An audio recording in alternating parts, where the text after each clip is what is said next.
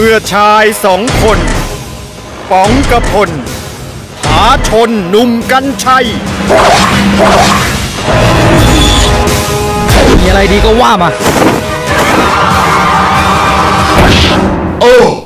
ไวไวๆครับต้มยำกุ้ง แซ่บแท้ถึงเครื่องต้มยำไทยอ้าวไวไวๆครับหมูสับ ถึงเครื่องหมูสับปรุงรสรวนในน้ำมันเจียวหอม ขอชิมมั่งดิ